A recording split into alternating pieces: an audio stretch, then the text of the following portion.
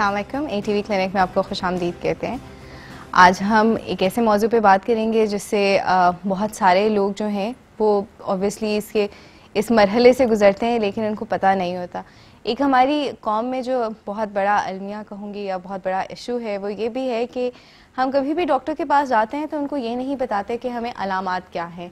हमें लगता है ये ज़रूरी नहीं है, बल्कि हम सीधा जाके अपनी बीमारी बताते हैं या हम ये बताते हैं जो हमें लगता है हमारी बीमारी है। बहुत कॉमनली जो मेरी प्रैक्टिस में मैंने देखा है, वो ये है कि सीधे साथ पेशेंट्स आते हैं और वो कहते हैं, जी, पित्ते में पथरी है, निकाल दें। ना वो मुझे ये बताते हैं कि उनको अब क्या हो रहा है या क्या हुआ, किस वजह से उन्हें ऐसा लगता है, किसी ने उनकी तशखीस की कि नहीं की, या उन्हें खुद ही ऐसा लगता है, किसी डॉक्टर ने बताया नहीं बताया। आज इसी मौजू पे बात करेंगे पित्ते की पथरी, जिस तरीके से आप जानते हैं काफ़ी कॉमन हो गई है, बहुत सारे लोग इसका शिकार होते हैं, उनको अगर ऑपरेशन के बारे में बता दिया जाए तो फ़ौरन से घबरा जाते हैं, डर जाते हैं। तो क्या ऑपरेशन कराना चाहिए, नहीं कराना चाहिए? होती क्यों है? बच्चों में क्यों होती है? बड़ों में क्यों होती है? कुछ लोगों में क्यों ज़्यादा होती है? निकलवाने के बाद क्या क्या कॉम्प्लिकेशंस हो सकती हैं? कौन से तरीके से ऑपरेशन कराना चाहिए? क्योंकि अब ऑपरेशन कराने के भी बहुत सारे तरीके आ गए हैं। इसके बारे में मजीद बात करेंगे। आज हमारे खसूसी मेहमान हैं doctor Syed Aslam Shah consultant surgeon हैं प्रिंसिपल रावल मेडिकल कॉलेज अस्सलाम सर वालेकुम thank you so much for joining us sir thank you जी अच्छा सर जिस तरह मैंने कहा कि जो अमूमन पित्ते की पथरी है वो शायद अब डायग्नोसिस आसान हो गया है। इंसिडेंटल फाइंडिंग बहुत ज़्यादा होती है। लोग किसी और वजह से अल्ट्रासाउंड कराने जाते हैं और उसमें पथरी निकल आती है। तो असल मसला भूल के पित्ते की पथरी पे कॉन्सेंट्रेट करते हैं। पित्ते की पथरी है क्या? और ये क्यों हो जाती है? देखिए जिगर हमारे जिसम में एक बड़ा अहम ऑर्गन है और जिगर एक सिक्रीशन बनाता है बाइल सफरा जिसको उर्दू में कहते हैं। बाइल जो सिक्रीशन है ये पित्ते की ये जिगर की नालियों के ज़रिए एक ऑर्गन अलग बना हुआ है पित्ता जो कि जिगर के साथ बिल्कुल अटैच है। वहाँ ये बाइल पहुँचता है। और वहाँ ये बाइल पहुँच कर स्टोर होता है। और मज़ीद ये कि वो कंसनट्रेट होता है। और कंसनट्रेट होने के बाद जब उसकी ज़रूरत महसूस होती है उस बाइल की तो वो आंतों में पुश कर दिया जाता है, उस आंतों में फेंक दिया जाता है। ये अल्लाह ताला का निज़ाम है, इसके अंदर मुख्तलिफ़ हारमोन्स काम कर रहे हैं। जब हमें, जब हम गज़ा खाते हैं और ये पित्ते के अंदर जो बाइल है, ये ख़ास तौर पर चिकनाई के हाजमे में मदद देता है तो जब हम गज़ा खाते हैं तो वहाँ से लोकल हार्मोन आँत के पहले हिस्से से प्रोड्यूस होते हैं और वो जब प्रोड्यूस होते हैं तो पित्ता सुकड़ता है और ये जो बाइल है ये पित्ते की आगे नाली के ज़रिए जिगर की नालियों के ज़रिए छोटी हाथ के अंदर पहुँच जाता है। तो ये मेकैनिज़म है जिसके ज़रिए ये बाइल बन रहा है स्टोर हो रहा है कंसनट्रेट हो रहा है और आगे जब इसकी ज़रूरत है तो ये जा रहा है। अब इस बाइल के अंदर बाज़ात कुछ ऐसे प्रॉब्लम आ जाते हैं या बाज़ात पित्ते में कुछ ऐसे प्रॉब्लम आ जाते हैं जिसकी वजह से ये पित्ते के अंदर पथरियाँ बन जाती हैं। तो ये बाइल के अंदर जो मुख्तलिफ़ कंपोजिशन होती हैं मुख्तलिफ़ केमिकल्स होते हैं, जिसमें कोलेस्ट्रॉल है, जिसमें कैल्शियम है, जिसमें और भी कुछ अनासर शामिल हैं तो वो मिल के एक सॉलिड मैस बना देते हैं। आमतौर पर तो वो सारा पित्ते में लिक्विड होता है। लेकिन वो वो सॉलिड मैस में तब्दील हो जाता है जिसको हम पत्थरी कहते हैं। वो वो कंक्रीशन है वो एक अच्छा असल में लेकिन पत्थर नहीं होते वो नहीं पत्थर की ही तरह है ना पत्थर की ही तरह है। वो मतलब इस तरह नहीं है जैसे पहाड़ी पत्थर है लेकिन वो पत्थर की तरह है छोटी छोटी कंक्रीशन है छोटी भी हो सकती हैं बड़ी भी हो सकती हैं मुख्तलिफ़ किस्म की पत्थरियाँ हैं। लेकिन वो जो बाइल है वो उसके अंदर कुछ उसकी खसूसियत ऐसी हो जाती है जो पथरी बना लेता है या बाज़ात पित्ते के इन्फेक्शन की वजह से या बाज़ात कुछ सिस्टमिक ऐसे डिज़ीज़ होती हैं जिसमें पित्ते के अंदर पथरियाँ जो हैं वो वो बन जाती हैं वो बाइल से बनती हैं बेसिकली ठीक है। अच्छा आ, हम जो कहते हैं कि अक्सर लोग आते हैं अलग अलग अलामत होती हैं पता कैसे चलता है कि आपको शक कैसे पड़ता है कि इस इंसान के अंदर जो है वो पित्ते की पथरी हो सकती है? देखिए अभी आपने ज़िक्र किया इंसिडेंटल फाइंडिंग इंसिडेंटल फाइंडिंग जो है वो तकरीबन 10 परसेंट केसेस में हो सकती है। इससे ज़्यादा हम्म। आमतौर पर नहीं होती। ज़्यादातर मरीज़ जो हैं वो दर्द के साथ आते हैं और जिगर की जो और पित्ते की जो लोकेशन है वो दाई तरफ़ पसलियों के नीचे।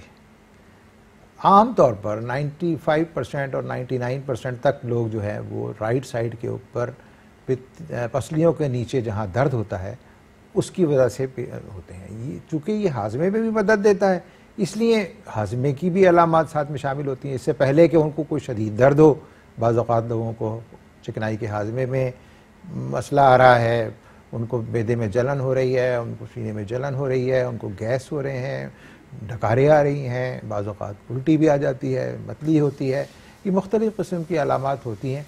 लेकिन जिस मरीज़ में दर्द आ जाता है राइट साइड के ऊपर दाई तरफ़ पसलियों के नीचे उसका फौरी तौर पर तशखीस करना ज़रूरी है कि ये पित्ते की पत्ती है बहुत कम ऐसा होता है कि वो दर्द जो है वो राइट साइड पर ना हो किसी और जगह हो लेफ़्ट साइड पर भी हो सकता है दरमियान में भी हो सकता है लेकिन राइट साइड जो है वो सबसे सबसे आसान सबसे कॉमन ठीक आप हमारे प्रोग्राम का हिस्सा बन सकते हैं। आप हमें कॉल कर सकते हैं zero five one four eight six five six five three पे zero five one four eight six five six five four पे। इसके साथ वक्त हुआ जा रहा है एक ब्रेक का हम ब्रेक से वापस आते हैं। तो डॉक्टर साहब से मजीद सवाल पूछते हैं। हमारे साथ रहिएगा।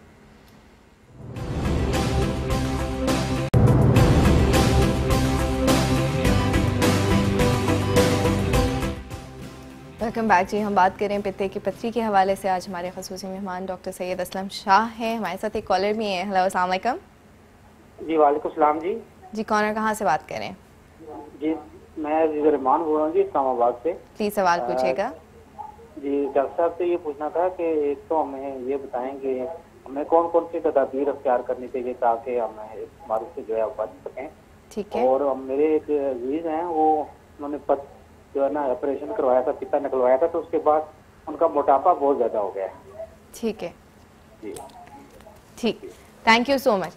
अच्छा आई थिंक सबसे पहले हमें शुरू ही इसी से करना चाहिए था कि क्या क्या ऐसी एहतियाती तदाबीर हैं जो हम कर सकते हैं जिससे ना हो? देखिए जैसे मैंने आपको बताया था कि ये जो बाइल है ये चिकनाई के हाजमे में मदद देता है। तो हम्म। चिकनी चीज़ें हैं वो आ, खाने से पित्ते के ऊपर ज़ोर पड़ता है।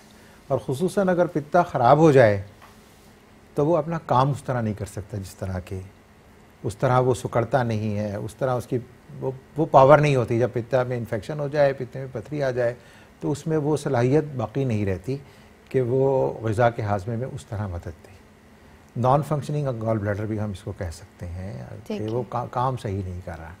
तो ये जो चिकनी चीज़ें हैं इसकी वजह से उसके ऊपर ज़ोर पड़ा है। अगर आप गज़ा में चिकनाई की मकदार एक ख़ास हद से आगे ना बढ़ने दें इसी तरह आप गज़ा अगर बहुत ज़्यादा मकदार में नहीं ले रहे उसकी वजह से भी आप ज़ाहिर है ज़ोर पड़ता है आपके में। तो जब आप एक ऑर्गन के ऊपर ज़्यादा प्रेशर डाल रहे हैं तो वो आहिस्ता आहिस्ता उसके अंदर लेकिन बेसिकली कंसंट्रेशन और भी है इसके अंदर कोई एक फैक्टर नहीं है। उसमें बहुत से लोग ओबिसिटी भी उसमें एक फैक्टर काउंट हो जाता है उसमें कुछ फीमेल्स में ज़रा ये कॉमन है उसमें कुछ ज़रा एक ख़ास उम्र से जाके चालीस साल की बात ज़्यादा कॉमन है उससे पहले भी हो सकता है ये नहीं है कि बीस साल में भी हो सकता है तीस साल में भी हो सकता है लेकिन ये कि मुख्तलिफ़ फैक्टर्स हैं कोई ये यहाँ की भी बात नहीं है कि एक इसी वजह से होगा लेकिन बेसिकली जो है वो पित्ते के अंदर इन्फेक्शन हो जाते हैं खसूस जब पित्ते जब ये हम चिकनाई जो है वो इसके लिए बहुत ज़्यादा चिकनाई और बहुत ज़्यादा हैवी मील क्योंकि ज़रा ज़रा थोड़ा सा अगर थोड़ी भूख रख के खाया जाए जैसे सुन्नत तरीका भी है इम्पोर्टेंट ज़्यादा है कि हम अपनी डाइट पे हाँ, ज़्यादा अपनी डाइट के ऊपर एक्सरसाइज के ऊपर आप उस गजा को जो खा रहे हैं उसको हजम भी करें। और ये नहीं है कि जी उसको फिर तो वो फिर पोटैटो हाँ। नहीं बने हमारे साथ एक कॉलर है। हेलो अस्सलाम वालेकुम। वालेकुम सलाम जी सियालकोट से बात कर रहा हूँ शाहिद जी। प्लीज़ सवाल पूछेगा। जी सवाल ये है कि पित्ते में जो पॉलिप होती है डॉक्टर से ये पूछ रहा है उसका क्या इलाज है? पॉलिप का दो तीन साल पहले अल्ट्रासाउंड करवाया था उसी तरह चल रहा है रेत के जर्रे के बराबर है।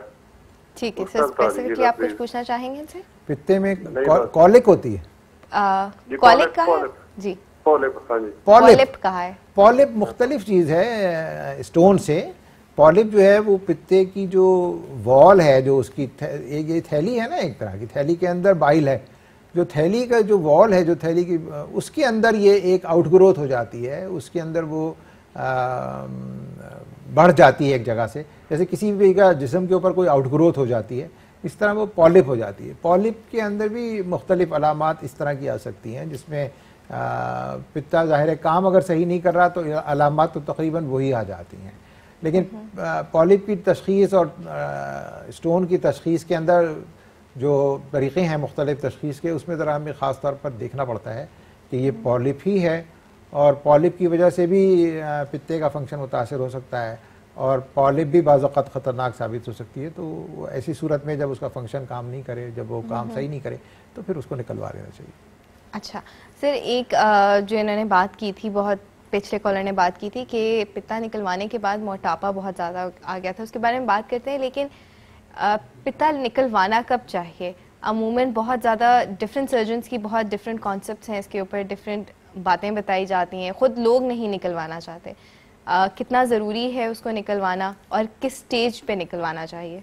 देखिए जब पित्ते में पथरी की तशखीस हो गई इसका मतलब यह है कि पित्ते के अंदर मसला है। और अब अगर आप पत, न, आपको वो फ़ायदा तो नहीं पहुँचा रहा आपको नुकसान पहुँचा सकता है। पित्ते में पथरी होने की वजह से बहुत से नुकसान हो सकते हैं जो पित्ते में के अंदर भी हो सकते हैं और पित्ते से बाहर उसकी नाली में भी हो सकते हैं जिगर में भी हो सकते हैं बाज़ात आंतों में भी हो सकते हैं। तो मुख्तलिफ़ कॉम्प्लिकेशन मुख्तलिफ़ पेचीदगियाँ जन्म ले सकती हैं। हम्म। तो अब उन पेचीदगियों का इंतज़ार करना कोई मुनासिब बात तो नहीं। है तो एक जब पिता आपको उस तरह गज़ा के हाजमे में मदद नहीं दे रहा आपको बार बार नुकसान आपको बार बार दर्द दे रहा है नुकसान दे रहा है गज़ा के हाजमे में मदद नहीं दे रहा और आपकी क्वालिटी ऑफ़ लाइफ ख़राब हो रही है तो ये quality of life is very very important बहुत ज़रूरी है कि आपकी क्वालिटी ऑफ़ लाइफ अच्छी हो। आप कहीं दावतों में उस तरह नहीं जा सकते आप कहीं अचानक आपको दर्द हो जाए फिर आपको फ़ौर डॉक्टर से रुजू करना पड़ जाए तो ये जब पित्ते में पथरी की तशीस हो जाए चाहे वो बड़ी है चाहे वो छोटी है बाज़ लोग समझते हैं कि जी अभी तो पित्ते की पथरी छोटी है ज़रा इसको और बड़ा होने का इंतज़ार करने थे। तो ये कोई मुनासिब बात नहीं है। लोग दस दस साल बाद पिते में पथरी रखे रहते हैं कि जी वो ये ज़्यादा अरसा रखने से इवन कैंसर तक जन्म ले सकता है पित्ते। अच्छा। लेकिन उससे पहले और जैसे शदीद इन्फेक्शन हो सकते हैं पेनक्रेटाइटिस हो सकता है जॉन्डिस हो सकता है जिगर ख़राब हो जाता है और पित्ते के अंदर बाज़ात पस बन जाती है खसूस डायबिटिक पेशेंट्स में तो वो और ज़्यादा नुकसान दे हो सकता है। बस तशखीस हो तो निकलवा हाँ, लेना पित्ता बाज़ात इवन फट भी सकता है रेयर केसेस के अंदर। हम्म। तो ये मुख्तलिफ़ किस्म की कॉम्प्लिकेशंस हैं जो पित्ते में बन सकती हैं पथरी वक्त के साथ साथ। अब किस मरीज़ में कौन सी कॉम्प्लिकेशन कब होगी ये, ये तो कोई नहीं, ये तो कोई नहीं बता सकता ये तो कोई नहीं बता सकता। लेकिन ये कि ये पेचीदगी का इंतज़ार तो नहीं करना चाहिए कि जी आप पेचीदा होगा। जब एक बार आपको एक बार अलामत आ गई जैसे आपने कहा था इंसिडेंटल फाइंडिंग कि जी वैसे ही एक्सरे कराया अल्ट्रासाउंड कराया पित्ते में पथरी आ गई लगी है अल्ट्रासाउंड आजकल कॉमन है पहले एक ज़माने में एक्सरे पर भी आ जाते थे। तो अल्ट्रासाउंड कराया पित्त में पथरी आ गई तो वो साइलेंट स्टोन है। साइलेंट स्टोन को भी बाज़ात निकालना मतलब निकालना निकालना चाहिए। उसके अपने क्राइटेरिया है उसके अपने क्राइटेरिया है कि पेशेंट डायबिटिक है बड़ा है स्टोन लाइफ एक्सपेंसेंसी ज़्यादा है क्वालिटी ऑफ़ लाइफ ख़राब देगा वो आपको एक साल में डेढ़ साल में कॉम्प्लिकेशन दे देगा। दोबारा उस वक्त आपको दर्द हो जाएगा।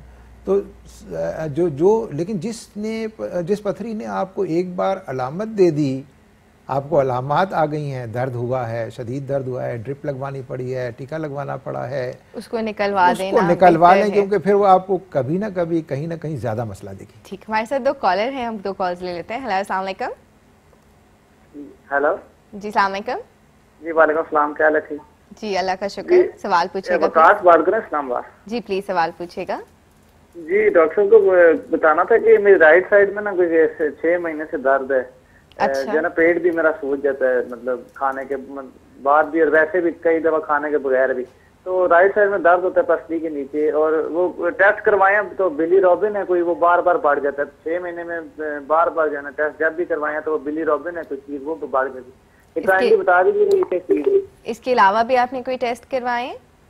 जी ये L F T R F T जो कराए जो है वो ठीक है बस ये अल्ट्रासाउंड करवाया भी अल्ट्रासाउंड। जी अल्ट्रासाउंड मैंने करवाया था वो कह रहे थे मैदे में पता नहीं सोजिश अच्छा आपका गॉल ब्लैडर ठीक था? साइड बता जी।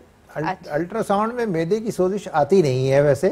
ये पता नहीं उन्होंने अल्ट्रासाउंड में मैदा मुझे लगता है बहुत सारे मरीज़ ऐसे होते हैं कि वो चाहते हैं उनको कोई बीमारी बताई जाए तो फिर डॉक्टर हाँ, अपनी तरफ़ से भी कुछ बना के बता देते हाँ, होते मैदे की सोजिश या मैदे के जो प्रॉब्लम है वो एंडोस्कोपी से पता चलते हैं वो अल्ट्रासाउंड से पता नहीं चलते। अल्ट्रासाउंड में पथरी का तशखीस हो सकती है आसानी से।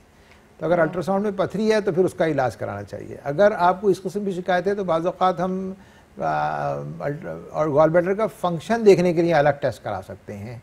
गॉल ये जो अल्ट्रासाउंड है ये गॉल ब्लैडर के अंदर से ये एनाटमी बता रहा है उसकी साख्त बता रहा है वहाँ पथरी है मौजूद है नहीं है। लेकिन उसका फ़ंक्शन नहीं बता रहा। फ़ंक्शन अच्छा। देखने के लिए हम एक हाइडा स्कैन एक टेस्ट होता है वो बताकर स्पेशल रेडियो आइसोटोप स्कैन के ज़रिए वो टेस्ट किया जाता है। उससे पता चल जाता है कि पित्ते का फ़ंक्शन कितना अच्छा है। ठीक है। तो अगर पित्ते का फ़ंक्शन कम है तो उस सूरत में भी हमें बाज़ात पित्ता निकालना पड़ता है। ठीक हमारे साथ एक और कॉलर है। हेलो अस्सलाम वालेकुम। अस्सलाम। जी कॉलर कहाँ से बात कर रही हैं? मैं नसीमी जाग बात कर रही हूँ सियालकोट से। अच्छा मैडम प्लीज़ अपनी टीवी की आवाज़ म्यूट कर दीजिएगा। हेलो मैंने अपनी मामा के बारे में पूछना है। मेरी मामा को ना पित्ते में तीन पत्रियाँ हैं दो छोटी हैं और एक बड़ी है। और उनको पेन भी नहीं होती। और उनको साथ में शुगर है तो इसके लिए पूछना था कि कहीं हत्ते के बात तो नहीं है और साथ में उसके लिए पूछना था कि इसके लिए क्या सूटेबल है। ठीक है। थैंक यू सो मच देखिए अच्छा, जो तो ये ये एक हाँ, बहुत कॉमन सवाल है जब डायबिटिक पेशेंट्स में कॉम्प्लिकेशन का, का पेचीदगी पेचीदगी होने का चांस ज़्यादा बढ़ जाता है। अच्छा। और तीन पथरियाँ हैं एक बड़ी है दो छोटी हैं। जो बड़ी पथरी है उसके अपने नुकसान हो सकते हैं वो पित्ते की डक्ट ब्लॉक कर सकती है पित्ते में इन्फेक्शन ज़्यादा कर सकती है पस बन सकती है। तो पस की बिल्कुल वो थैली पस की बन जाती है बार एम्पाइमा हम उसको कहते हैं। और जो छोटी पथरी है, वो अगर आगे चली जाए पित्ते की नाली में तो वो ब्लॉक करके जॉन्डिस कर सकती है। तो ये ये ये दोनों बातें नुकसानदेह हैं और बज़ाहिर अगर उनको पित्ते में तीन पथरियाँ जैसे आप बता रही हैं तो पित्ता उनका काम नहीं कर रहा। अब वो आपको सिर्फ़ नुकसान दे सकता है, अब आपको फ़ायदा कोई नहीं दे रहा। और उस सूरत में उसका निकालना बेहतर रहता है। आजकल बहुत ही आसान ऑपरेशन है बहुत ही सिंपल ऑपरेशन है 24 घंटे में मरीज़ फारिग हो जाता है। अच्छा डॉक्टर साहब ये जो ऑपरेशन है दो तरह के होते हैं। एक बड़ा चीरा दे के आप पूरा निकाल लें जिसको ओपन हम कहते हैं कोलिसिस्टेक्टमी और एक लैप्रोस्कोपी के ज़रिए जो आम जबान में लोग उसको लेजर सर्जरी भी कहते हैं। कौन सी वाली करवानी असल चाहिए में ये लेजर सर्जरी नहीं है? हाँ, असल में ये लेजर सर्जरी नहीं है। असल में ये लेप्रोस्कोप एक इंस्ट्रूमेंट है। जिसके ज़रिए हम एक कैमरा पेशेंट के एब्डामन के अंदर डाल देते हैं और उस और मॉनिटर के ऊपर देख के हम सर्जरी कर रहे होते हैं। जबकि ओपन सर्जरी के अंदर हम डायरेक्ट देख के सर्जरी कर रहे होते हैं। ओपन सर्जरी में ज़रा थोड़ा इंसियन ज़्यादा बड़ा लगाना पड़ता है निशान बड़ा आता है टाँके ज़्यादा हम्म। आते हैं रिकव मसल काटने पड़ते हैं रिकवरी थोड़ी सी स्लो होती है रिकवरी में ज़रा टाइम लग जाता है पेशेंट को दर्द ज़्यादा होता है। जबकि लेप्रोस्कोपिक सर्जरी में ये सारी प्रॉब्लम नहीं है, उसमें मरीज़ बहुत जल्दी रिकवर कर जाता है, मरीज़ को जल्दी घर भेज दिया जाता है, जल्दी वापस काम पर जा सकता है, ख़ासतौर पर वर्किंग लेडीज़ के लिए। लेडीज़ में चूँकि गॉल, गोल स्टोन्स कॉमन है तो वो वापस जल्दी काम पर जा सकती हैं घर की जिम्मेदारियाँ संभालने के लिए भी उतना ही ज़रूरी है अगर कोई वर्किंग लेडी नहीं भी है हम्म। घर की जिम्मेदारियाँ ज़्यादा जल्दी आसानी से संभाल सकेगी तो लेप्रोस्कोपिक सर्जरी पिछले तकरीबन तीस साल से सारी दुनिया में और बाज़ चीज़ें ऐसी ईजाद हुई जो बहुत जल्दी सारी दुनिया ने उसको एक्सेप्ट कर लिया हम्म। उसमें से एक लेप्रोस्कोपिक सर्जरी है कि सिर्फ़ चंद साल के अंदर पूरी दुनिया में फैल गई और बड़ी जल्दी लोगों ने इसको एक्सेप्ट कर लिया और इसके फ़वाद इतने थे लेकिन ये उसमें यही है कि आपके पास इक्विपमेंट अच्छा हो सर्जन ट्रेंड हो वेल एक्सपीरियंस्ड हो तो बहुत आसान लेप्रोस्कोपिक सर्जरी है। इंडिविजुअल पेशेंट और सर्जन के ऊपर डिपेंड सर्जरी आजकल इसको कहते हैं। लोग सुबह ऑपरेशन कराते हैं शाम को घर चले जाते हैं। अच्छा। डे केयर सर्जरी में आ जाता है और एक्सटेंडेड डे केयर सर्जरी इसमें 24 घंटे के अंदर मरीज़ घर चला जाता है। ठीक है। डॉक्टर साहब हमारे साथ एक कॉल है। हेलो अस्सलाम वालेकुम hello hello hello Mrs Salim hello अच्छा आई थिंक कॉल ड्रॉप हो गया साथ। एक पहले किसी ने सवाल किया था ओबिसिटी के बारे में। सर हम इसके बारे में जवाब लेते हैं लेकिन एक ब्रेक का वक्त हुआ जा रहा है ब्रेक से वापस आते हैं तो डॉक्टर साहब से ओबिसिटी के बारे में भी पूछते हैं हमारे साथ रहिएगा।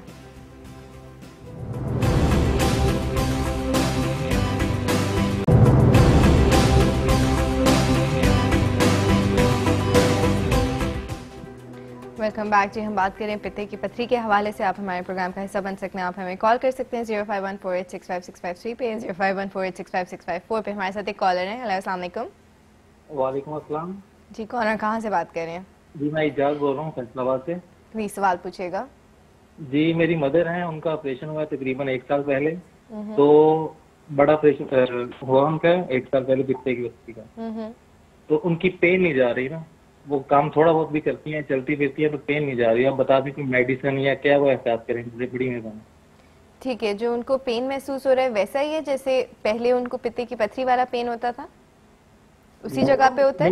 वो नहीं है वो नहीं है वो ऐसे जैसे महसूस है जैसे जख्म में अंदर या ऐसे कुछ है। अच्छा सर स्पेसिफिकली आप इनसे कुछ पूछना चाहेंगे? वो चूँकि आपने कहा बड़ा ऑपरेशन कराया है तो वो ओपन बड़ा ऑपरेशन ही पित्ते का ऑपरेशन करवाया था पित्ते की पथरी का ही।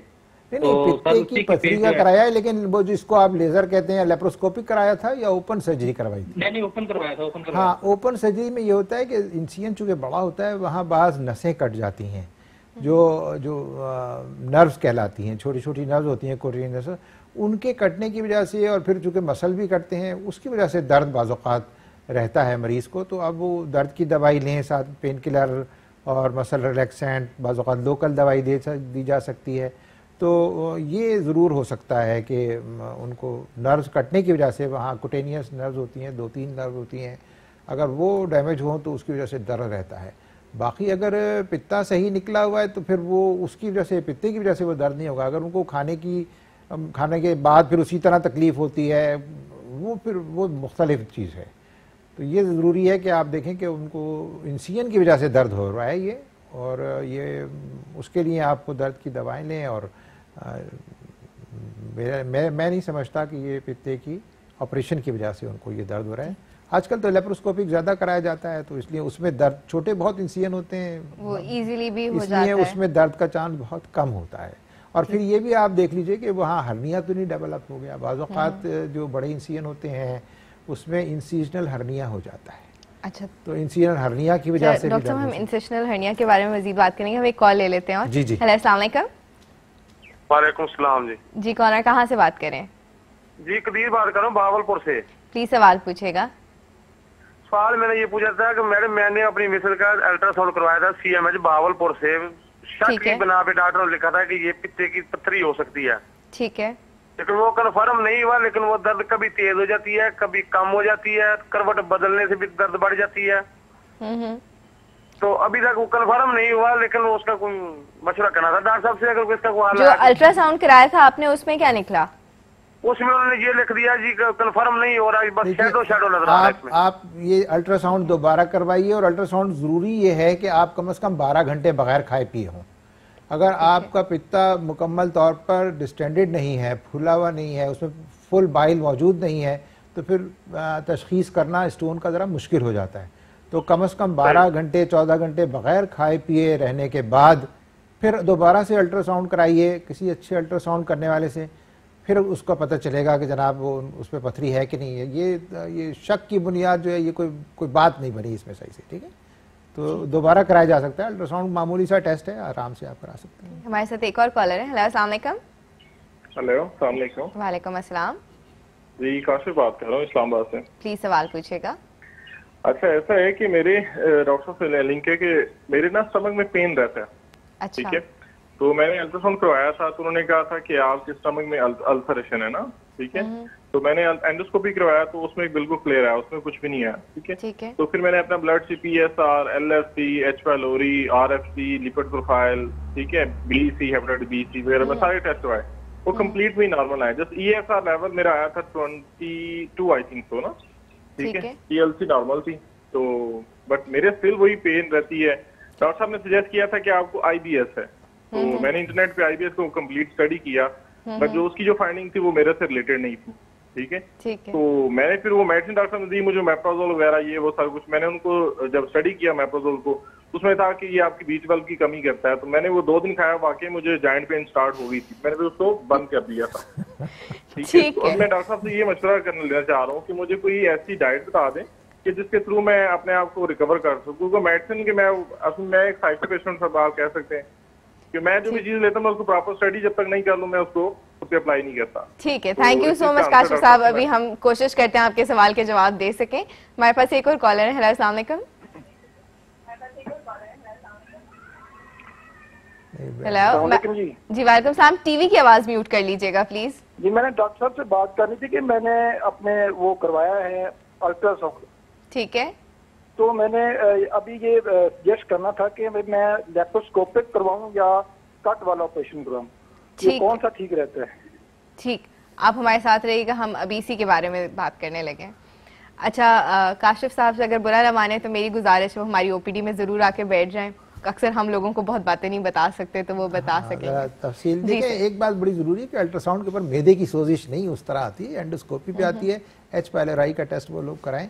और ये जो ओपन और लेप्रोस्कोपी का है ये कहानी ज़रा पुरानी काफ़ी अरसे से चल रही है। आजकल लेप्रोस्कोपिक बहुत सेफ़ है बहुत हम्म। सारे सर्जन लेप्रोस्कोपिक कर रहे हैं। अच्छी इक्विपमेंट बहुत हाई डेफिनेशन कैमरा अच्छे रेजोल्यूशन वाले कैमरा आ गए ब्रेक में एक आ, उसकी भी बात कर रहे थे एस आई एल एस की। हाँ ये अब ये ये नई टेक्नोलॉजी है सिर्फ़ जिसको है। कहते हैं सिंगल इंसियन लेप्रोस्कोपिक सर्जरी लेकिन ये ज़रा एडवांस्ड फॉर्म है लेप्रोस्कोपिक सर्जरी के ऊपर हम्म। जो आम ट्रेडिशनल लेप्रोस्कोपिक सर्जरी उसमें एक कैमरा डाला जाता है आमतौर पर नाफ के पास से हम्म। और दो एक कैमरा डाला जाता है एक एक इंस्ट्रूमेंट डाला जाता है दरमियान में दोनों हम्म। पसलियों के साथ दरमियान में बिल्कुल और दो छोटे छोटे इंसियन होते हैं साइड के ऊपर तो उनसे मैंने हम देख कर ऑपरेट हम्म। कर सकते हैं। बाद लोगों को ये चार इंसियन की बजाय बाद तीन से भी कर लेते हैं तो तीन या चार की बजाय उन्होंने कहा जी एक ही इंसियन होना चाहिए। तो खाली नाव के पास एक इंसियन लगा के स्पेशल इक्विपमेंट डाल के स्पेशल हम्म। इंस्ट्रूमेंट्स के साथ वो सिंगल इंसियन से भी कर लिया जाता है लेकिन वो एडवांस्ड फॉर्म है। उसमें और जो ट्रेडिशनल लेप्रोस्कोपिक सर्जरी है उसमें कोई फ़र्क नहीं है। टेक्निक वही है तकरीबन। सिर्फ़ ये है कट जो है वो एक जगह लगा जाता है थोड़ा सा बड़ा होता है दूसरे इंसियन से। लेकिन ये कि लेप्रोस्कोपिक सर्जरी बहुत सेफ़ है आजकल हम्म, हम्म। अच्छी जगह से हो रही है ट्रेंड सर्जन है कोई मसला नहीं है। तो कट वाले सर्जरी से ये है कि ज़रा सा इंसियन बड़ा होता है पेन ज़्यादा होता है रिकवरी स्लो होती है कॉम्प्लिकेशन का रेट जैसे हर्निया का रेट ज़्यादा है इंसियन हर, हर्निया का हम्म, कट बड़े कट के अंदर छोटे में ज़रा कम है बहुत कम है बल्कि तकरीबन ना होने के बराबर है। तो ये ज़रूर ख़ास तौर पर बात देखनी चाहिए। लेकिन एक बात तय जो है वो ये कि अगर आपके पित्ते में पथरी है तो वो आपने निकलवाना आप निकलवानी है। पेचीदगी का इंतज़ार ना करें और अपनी क्वालिटी ऑफ़ लाइफ ख़राब ना करें। ठीक हमारे साथ एक कॉलर है। हेलो अस्सलाम हेलो अच्छा हेलो अस्सलाम वालेकुम। वालेकुम अस्सलाम। मैं तो मुझे डॉक्टर साहब जी जी हेलो पूछिए। कल मैंने कंसीव किया था तो उसमें मुझे ट्यूबर क्लोसिस जो है ना वो पॉजिटिव आ गए नहीं समझ आई। आपकी आवाज़ समझ नहीं आ रही। आप थोड़ा आ, शायद सिग्नल सही नहीं आ रहे। हेलो अच्छा कॉल हमारी ड्रॉप हो गई है।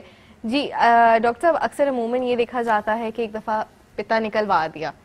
उसके बाद दोबारा उसी किस्म का दर्द महसूस होता है आँखों का पीलापन पड़ना शुरू हो जाता है पेशेंट जॉन्डस होना शुरू हो जाता है। उसकी क्या वजह है और उस सिनारियों में क्या करना चाहिए ये बिल्कुल मुख्तलिफ़ बात हो गई कि अगर पित्ते के अंदर पथरी है और पित्ता निकाल दिया तो फिर तो बात बिल्कुल ठीक हो गई लेकिन अगर पित्ते के आगे जो नाली है या हम्म। तो वो डैमेज हो गई हम्म। या उसके अंदर कोई स्टोन आगे चला गया था ठीक है उसकी वजह से फिर मजीद कॉम्प्लिकेशन हो सकती है हम्म, ये आ, सर्जरी से पहले स्लिप हो गया या सर्जरी के दौरान हुआ है या सर्जरी के दौरान पित्ते की नाली डैमेज हो गई है तो फिर वो उसको हम कॉमन बाइल डक्ट कहते हैं जो जिगर से नाली आ रही है जिसके अंदर से पित्ते की सिक्रीशन भी उसी में जा रही है। अगर वो डैमेज हो गई तो फिर वो बिल्कुल मुख्तलिफ़ उसका ट्रीटमेंट है। और उस सूरत में आपको ई आर सी पी करानी पड़ती है जो कि स्पेशल टेस्ट है एंडोस्कोपिक रेट्रोग्रेड कोलेंजोपेनक्राटोग्राफी जो एंडोस्कोप के ज़रिए हम डाई डाल के जहाँ पर ये नाली खुलती है आंत के अंदर वहाँ से हम डाई डाल के उसको आउटलाइन करते हैं सारे बिलियरी ट्री को सारी बाइल डक्ट्स को वो उसका आ, और उसमें पता चलता है कि कहीं पे कोई ब्लॉकेज तो नहीं है कहीं कोई स्टोन तो नहीं पड़ा हुआ। अगर कोई स्टोन पड़ा हुआ है तो फिर हम उस स्टोन को निकाल लेते हैं। उसी नाली को जो एंड है उसको थोड़ा सा डायलेट करके और वो स्टोन को एक स्पेशल बास्केट के ज़रिए हम निकाल लेते हैं।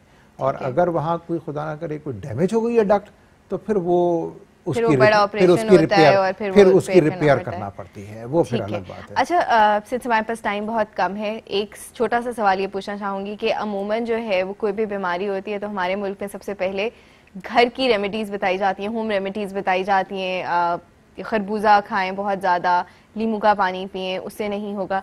कितना फ़ायदा होता है और कितनी इफ़ेक्टिव है होम रेमेडीज इस सिनारियो ये जब पित्ते में पथरी डायग्नोज हो गई है तो ये होम रेमेडीज फ़ायदा नहीं काम करेगी। नहीं काम करेगी। हमारा टेक होम मैसेज आप निकलवा दें बस। निकलवा दें। एक बात जो जरा ज़रूरी है बताने बाद लोगों ने पूछा कब निकलवाएँ? तो अगर ये एक्यूट अटैक में पेशेंट आता है तो फ़र्स्ट 24 48 आवर्स के अंदर निकाल दें तो बेहतर है। ठीक है। वरना फिर छह हफ़्ते इंतज़ार करने के बाद निकालना पड़ता है। उससे यह है। कि आपको दो मरतबा के एडमिशन की बजाय एक ही एक ही एडमिशन के अंदर वो काम हो जाता है। तो जिस वक्त पित्ते में दर्द हो अगर आप फौरी तौर पर किसी माहिर डॉक्टर सर्जन से रुजू कर लें तो वो उसी वक्त उसी फ़र्स्ट अटैक के अंदर निकाल देंगे। तो 24 घंटे में 48 घंटे में अगर बहुत ही ज़्यादा हो गया बहत्तर घंटे में बेहतर होता है कि अड़तालीस घंटे के अंदर अंदर उसको निकलवा लिया जाए तो वो अर्ली कोलिसिस्टेक्टमी या एक्यूट अटैक के अंदर जो कोलिसिस्टेक्टमी हो जाती है एमरजेंसी कोलिसिस्टेक्टमी वो करवाना बेहतर रहता है। ठीक है। या फिर अगर जो है जिस वक्त वो दर्द हो उसके फिर छह हफ़्ते के बाद तो वो ज़रूरी है। और जिस वक्त भी तशखीस हो जाए फिर उसके बाद आप अगर ये इंतज़ार ना इंतज़ार ना करें ये क्वालिटी ऑफ़ लाइफ खराब ना करें। वरना और ख़ास तौर पर एक बीमारी का ज़िक्र करना ज़रूरी है कि बाद छोटी पथरी आगे जाकर पेनक्रेटाइटिस कर सकती है हम्म। जो कि लबलबे का इन्फेक्शन हो सकता है। जैसे हम्म। मैंने कहा जिगर ख़राब हो सकता है जॉन्डिस हो सकता है। इसी तरह ये लबलबे के जो इन्फेक्शन है जिसको हम पेनक्रेटाइटिस कहते हैं ये बाज़ ख़तरनाक भी हो सकता है। हम्म, तो ऐसी कॉम्प्लिकेशन से बचना चाहिए। जब कोई छोटी सी पथरी एक जी लोग इंतज़ार कर रहे हैं अभी जो दो मिलीमीटर तीन मिलीमीटर की पथरी है वो अगर आगे चली गई किसी वक्त कॉन्टेक्ट तो उससे जान भी जा सकती तो वो पेनकेटाइटिस बाज़ात फैटल भी हो सकता है लेकिन ये पेनकेटाइटिस में भी अर्ली सर्जरी कराना बेहतर रहता है अगर ठीक है। जितनी जल्दी हो सके। Thank you so much doctor साहब। बहुत अच्छा लगा। बहुत सारे मजीद सवाल थे लेकिन क्योंकि वक्त कम था वो हो नहीं सके। पोस्ट ऑफ़ केयर के बारे में मैं आपसे जानना चाहती लेकिन इंशाल्लाह हम दोबारा आपके साथ एक और शो करेंगे।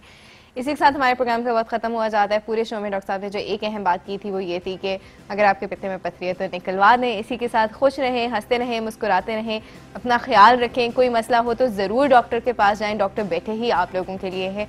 आप नहीं जाएँगे तो वो क्या करेंगे बेचारे? हमारे साथ रहिएगा अगले हफ़्ते फिर हाजिर होंगे एक नए मौजू के साथ। अल्लाह हाफिज़।